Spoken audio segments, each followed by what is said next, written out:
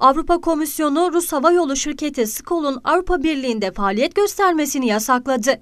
Avrupa Komisyonu alınan kararla ilgili yaptığı açıklamada uluslararası standartlara uyma yeteneğiyle ilgili endişeler nedeniyle bir Rus hava yolu şirketi listeye eklendi açıklaması yaptı.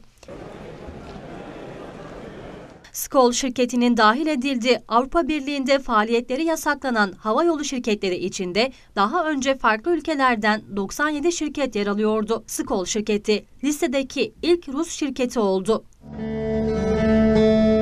Açıklamada Skol ve diğer 6 şirketin tespit edilen ciddi güvenlik sorunları nedeniyle listeye dahil edildiği belirtildi.